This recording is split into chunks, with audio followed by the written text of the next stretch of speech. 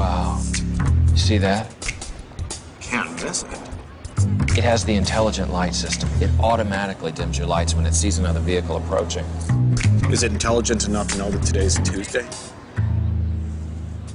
Today's Thursday.